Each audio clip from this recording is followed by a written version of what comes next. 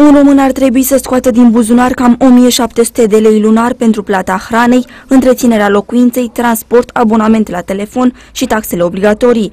Dacă pentru unii mai rămân foarte puțin bani de pus la economii, alții nu au nici măcar să acopere toate aceste cheltuieli. Datele Institutului Național de Statistică arată că 1700 de lei ar fi 75% dintr-un buget mediu disponibil de 2267 de lei pe gospodărie. Ca exemplu, pentru mâncare, o familie alocă peste 675 de lei, ceea ce înseamnă aproximativ 30% din bugetul mediu.